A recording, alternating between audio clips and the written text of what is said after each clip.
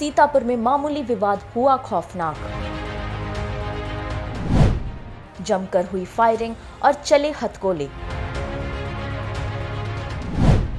बवाल में कई लोग हुए घायल। पूरे इलाके में फैली दहशत। ज़मीन के एक छोटे से टुकड़े की खातिर इंसान ऐसी हरकतें कर बैठता है जिससे वो कानून का गुनहगार बन जाता है। दुनिया जानती है कि आज की तारीख तक कोई भी कानून से खिलवाड़ करने के बाद बच नहीं सका है। बावजूद इसके, वो कानून तोड़ने में गुरेज नहीं करता। कुछ ऐसा ही मंजर सीतापुर में देखने को मिला, जहाँ ज़मीन के टुकड़े के खातिर दो पक्षों में बवाल हो गया। लेकिन हद तो तब हो गई जब एक पड़ोसी ने दूसरे पड़ोसी पर हथगोलों से हमला कर दिया जिसमें कई लोग बुरी तरह घायल हो गए। पढ़ के निकला घर से टहलने के लिए। जी। वह हमरे मार दिए। कौन मारा? लल्लन। का मारे? लल्लन मारी से अच्छा और? आसिम रहे। हम्म और सुमेर रहन का लड़का लल्लन करा और लल्लन लड़का लाल मोहम्मद रहा।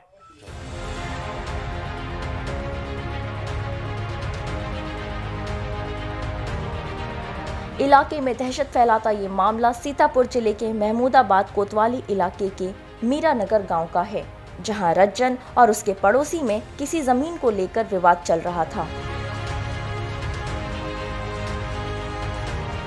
रज्जन की माने तो वो अपने घर के बाहर टहलने निकले थे कि अचानक उनके पड़ोसी लल्लन ने उन पर हमला कर दिया, जिससे उनके सिर में चोट आ गई। इतना ही नहीं रज्जन का आरोप है कि लल्लन के परिवार के बाकी सदस्यों ने उन पर हथकोलों से हमला कर दिया। और तो और कई राउंड फायरिंग की गई जिसमें रज्जन के परिवार के कई लोग घायल हो गए।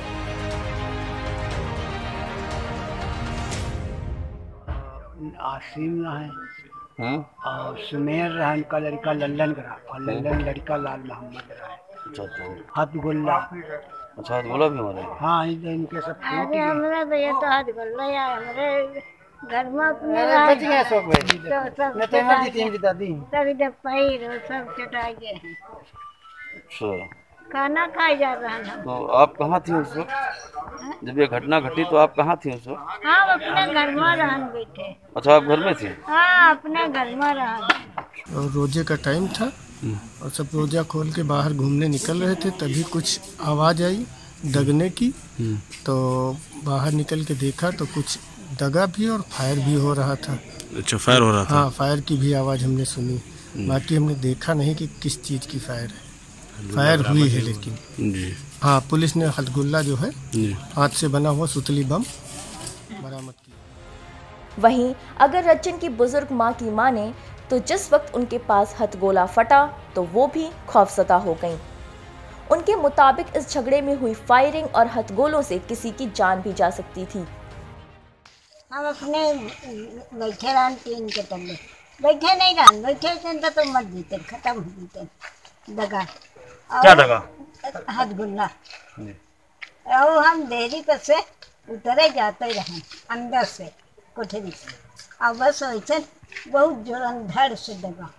हम देरी पाए गए अब वो जब दगा होनी खटिया पे यहाँ दगा तो सब झड़प हो गया के अब फारूक है तो दादी मिला है गुंडा। और एक हाथ गुल्ला फारूक को गिरा है तो उनके खोन दगा नहीं। रिहायशी इलाके में हुई वारदात की खबर जैसे ही पुलिस को लगी तो आला अधिकारी समेत फोर्स भी मौके पर पहुँच गई। और सबूत इकट्ठा करते हुए घायलों को अस्पताल पहुँचाया गया। ये सगे चाचा भतीजे का विवाद है। इनके दो, दोनों के बीच जो है पुश्तैनी ज़मीन के बंटवारे को लेकर के विवाद चल रहा है। मामला अभी कमिश्नर साहब के यहाँ लंबित है। और दोनों ही बच्चों को पहले से पाबंद किया गया था। कल जो है कल शाम को जो भतीजे वाला पक्ष है इसने अपने चाचा के ऊपर दिवाली वाला जो सुतली बम होता है उस, उसके पास बचा हुआ रखा था। उससे वो फेंक करके मारा और उसको ईट से भी प्रहार किया उसके ऊपर जिससे उसके सिर में चोट आई है। इस संबंध में वादी की तहरीर पर थाना महमूदाबाद में धारा 307, 336, 323, 504, 506 और पाँच विस्फोटक अधिनियम का मुकदमा पंजीकृत किया गया है। पीड़ित पक्ष की मेडिकल करा दिया गया है और एक व्यक्ति की गिरफ्तारी भी हो गई है। आगे और चार लोगों के खिलाफ नामजद तहरीर दिया है, जिसमें अन्य लोगों की भी गिरफ्तारी का प्रयास किया जा रहा है। पुलिस ने मामला दर्ज करते हुए दो आरोपियों को गिरफ़्तार कर लिया है। साथ ही मामले की जाँच की जा रही है, ताकि साजिश में शामिल और लोगों को गिरफ़्तार किया जा सके। सीतापुर से न्यूज़ टाइम नेशन के लिए आलम अंसारी की रिपोर्ट।